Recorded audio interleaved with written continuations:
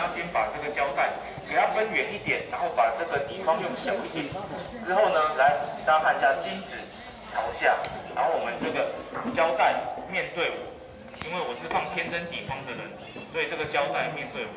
然后我们斜斜的放下去之后，再把这个底框拉开，拉到最大。然后呢，把它斜斜的放进去之后，对准我们刚才涂到胶水的地方，这样子，铁丝就是在我的对面跟我的左右两边。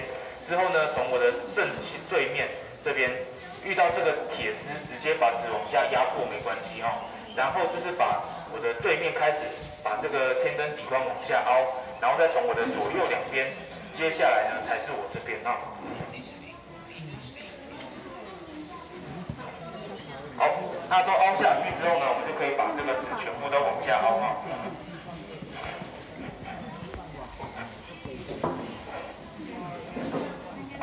那凹下去之后呢，我们互相的检查一下有没有哪里没有凹到，好不好？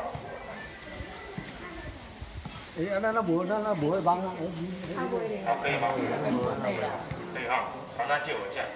好。现在呢，我们底方都粘好了，那我们来做一个实验，是吧？看这个天灯能不能平安的飞得上去。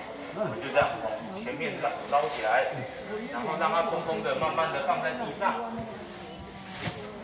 好，这样子还不算成功，还要符合两个条件才算成功哦。第一个，这个天灯可以平安的站五秒以上；第二个，这个天灯呢没有任何的破洞。